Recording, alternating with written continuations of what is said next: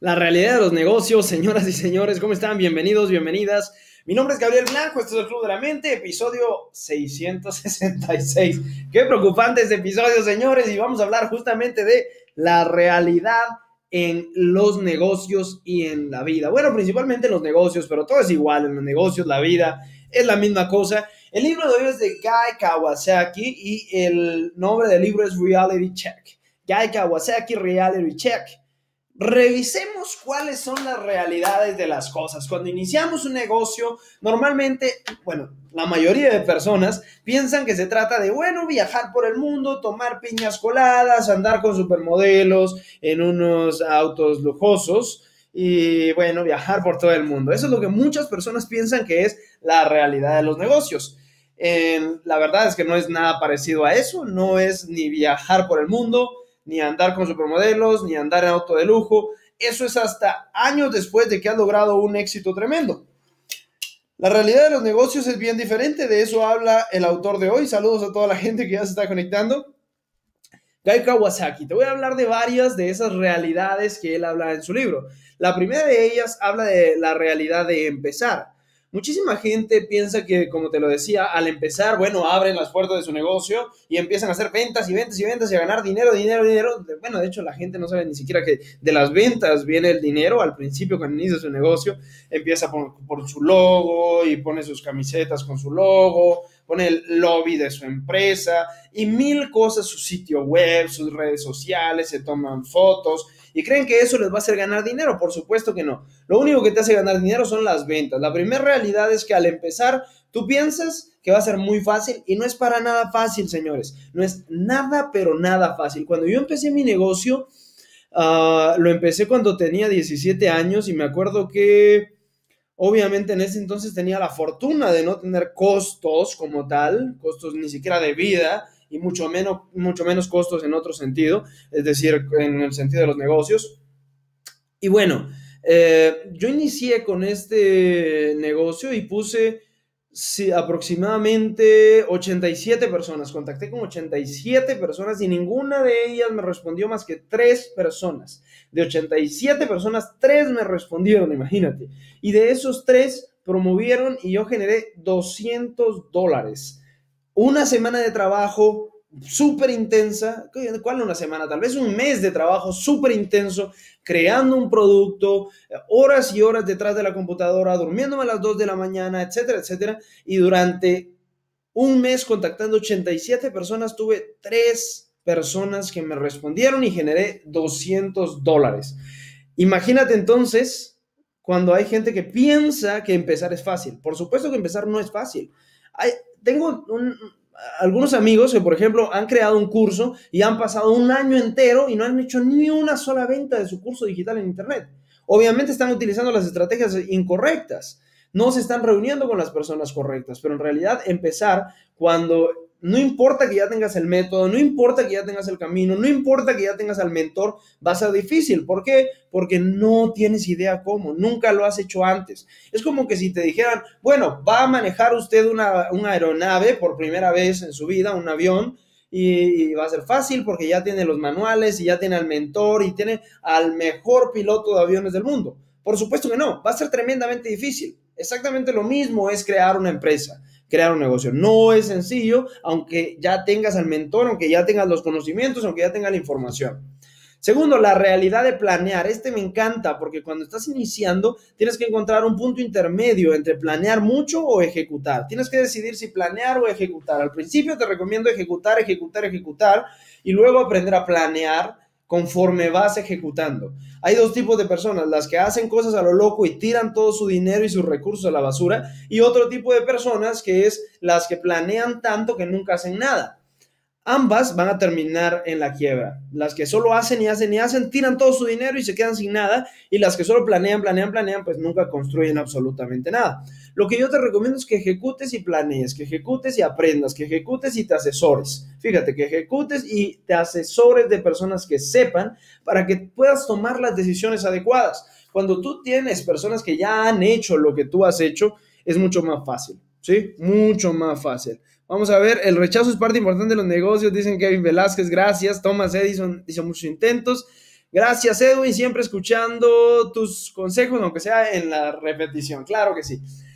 Realidad de innovar, este me encantó también de Guy Kawasaki. Eh, muchas veces hemos escuchado esa frase de que innovar es una cosa importantísima, innovar es el secreto para ganar mucho dinero y hoy en día es real, es cierto eso que dicen, que hay que innovar, porque si no innovas, el resultado pues va a ser sencillísimo, no vendes, porque tu competencia está vendiendo lo mismo que tú.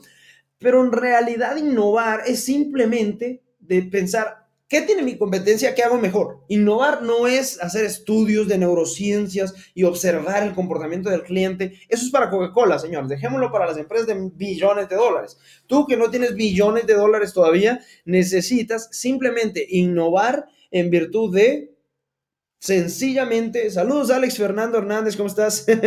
Nada es fácil, pero no imposible. Daniel, contáctame, por favor. No he visto tus mensajes. Escríbeme privado para poder apoyarte. Realidad de innovar entonces es ¿Qué no está haciendo mi competencia? Y lo hago yo. ¿Qué cosas está quejando el público que no existen y lo hago yo? ¿Qué cosas nuevas puedo hacer que no esté haciendo y lo hago yo? Que esté haciendo mi competencia. ¿Sí? Siguiente realidad del marketing. Todos soñamos con un producto que se venda en automático, sin hacer nada, que se venda solo. Bueno, sigue soñando con eso porque no existe un producto que se venda solo. Tú tienes que hacer marketing. Y hacer marketing significa observar un producto observar todas las características que este producto tiene y entre, enseñar al público las características más interesantes de ello. Te lo voy a repetir otra vez. ¿Qué es marketing? Marketing es saber atraer personas a que se interesen en un producto cómo se hace marketing. Ahí está la ley de marketing número uno, lo que no aprendiste en tu, en tu universidad y lo que no aprendiste en tu maestría, lo que no aprendiste en tu doctorado, te lo voy a decir en 30 segundos, ¿sí? Doctorado en marketing en 30 segundos. ¿Qué es marketing? Es atraer personas interesadas a tu producto. ¿Cómo se hace marketing? Se observan todos los beneficios y características de un producto y se presenta al público de la manera más atractiva posible todas las características de ese producto. De hecho, estamos trabajando con una empresa que vende unos productos, ya lo vas a ver próximamente, una empresa que vende unos productos para la salud justamente, no es multinivel. Bueno, sí, ellos son dueños de multinivel, pero lo quieren vender al público en general. Y ah, es un producto que le ayuda a tener más salud, energía, reducir medidas, etc. Y nosotros estamos haciendo el marketing para esa empresa. Estamos haciendo toda la, la forma de vender y comercializar ese producto.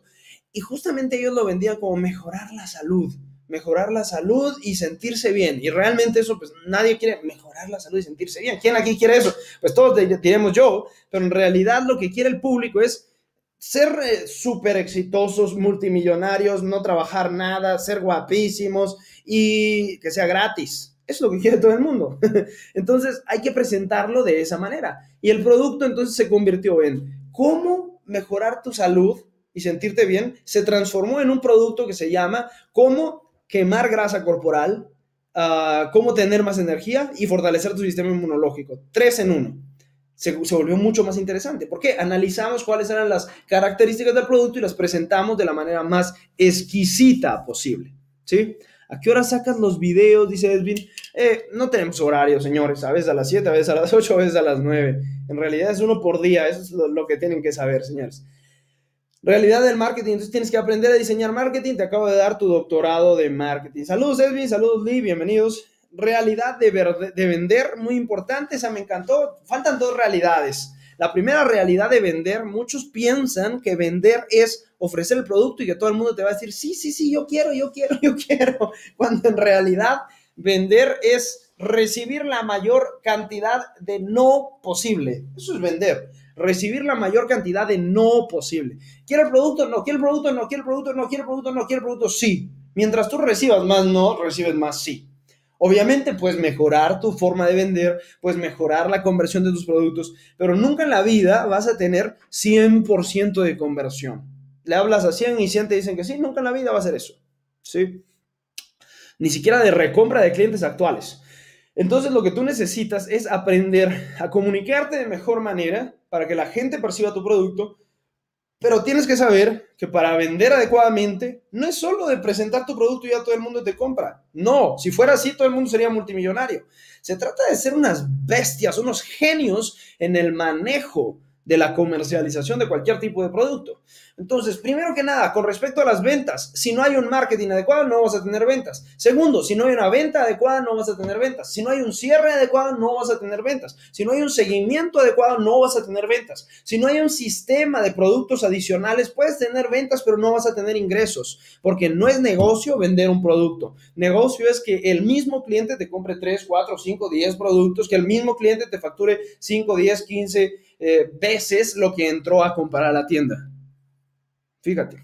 Y por último, la realidad de trabajar. La realidad de trabajar es bien sencilla. Muchas veces pensamos que simplemente llegamos a nuestra oficina, nos ponemos nuestros lentes oscuros y empezamos a trabajar frente a la computadora en esta manera, así, durante todo el día y ya con eso somos millonarios. Y por supuesto que no, la realidad de trabajar es una locura, señores. Si vieran este escritorio, por aquí está tirada una cosa, por aquí está tirada otra, hay un pizarrón con una cosa, hay un pizarrón con otra, y aún así hay que aprender a organizarse y trabajar constantemente todos los días, hacer cosas nuevas, saber manejar tu cabeza, porque van a haber muchas personas, muchos distractores, muchos elementos que no tenías planificados, etcétera, etcétera, etcétera. Entonces la realidad de trabajar también es totalmente distinta a la que estás acostumbrado. Señores y señores, quieren ser empresarios, quieren hacer dinero, quieren ser libres financieramente, no se trata de poner fotitos en Instagram y en Facebook eh, con lentes oscuros y auto de lujo, porque eso no les da dinero. Lo que les da dinero es aprender a trabajar correctamente. Un abrazo para todos. Este es el Club de la Mente, episodio 666. Hasta la próxima.